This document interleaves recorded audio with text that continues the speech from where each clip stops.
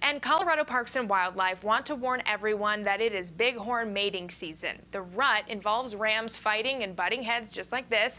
If you see them while you're outdoors, remember these animals can be unpredictable, so do not approach them, touch, or even feed those rams. Just enjoy the rut from a safe distance.